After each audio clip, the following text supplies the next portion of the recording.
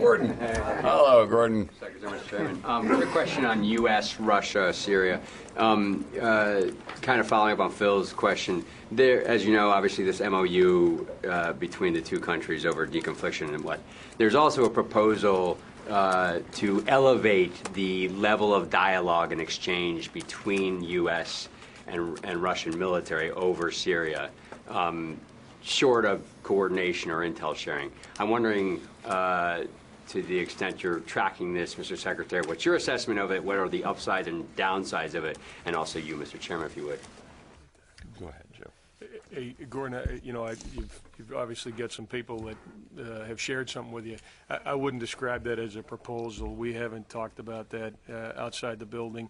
We're constantly looking at the Syria campaign, constantly looking at what's happening on the ground, first and foremost with uh, with the desire to make sure we have the proper framework to protect our people. That's that's number one. Number two, to make sure we have the proper framework within which we can accomplish our objectives. So, what you described is not very mature. It's been some conversations we've had. I have not even gone to the secretary and asked him to make make a decision on that. So this is this is something that again I would put that in the context of many many other ideas that we've bounced around.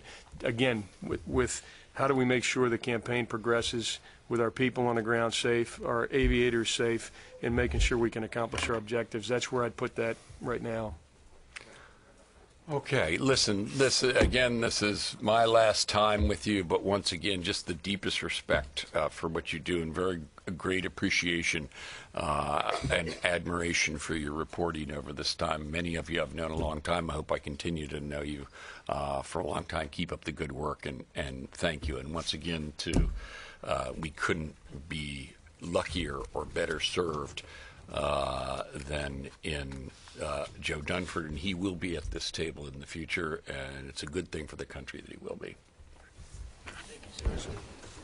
Thank you. Happy New Year to all of you.